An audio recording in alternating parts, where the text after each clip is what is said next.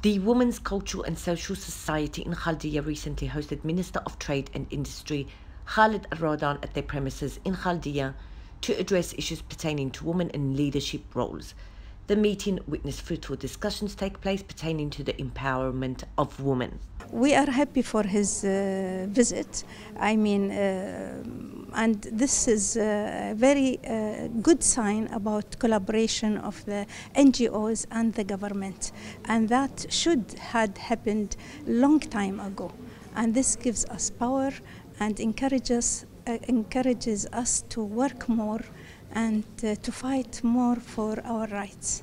During the discussion, Minister of Trade and Industry Al-Rawdan touched on several issues pertaining to women, among them the significant progress women have made over the years in all domains, and that women should feel encouraged and inspired to further advance their career ambitions. We have made great progress here, and of course, that's thanks to uh, Miss Lulu Mulla and thanks to the Women's Social Cultural Society, as I mentioned.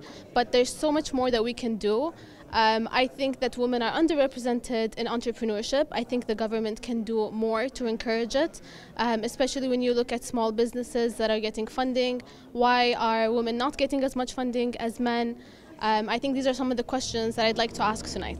Well, to be honest, we always have goals and we always like to move forward to achieve um, the goals that we're, we're looking for. Um, empowering women is a very important issue. Entrepreneurship is a very important issue. So bringing them together tonight is a very important uh, topic to talk about. Um, I think women movement in Kuwait started from this place, and I think it should continue driving from this place, having those lovely ladies speaking strongly about our cases day and day and every day and every week. Uh, our position in, in, the country is getting stronger and stronger. Our constitutional rights are um, for us. So I don't think anything's stopping us now, but uh, achieving uh, some of our goals here and there and trying to get the best we can.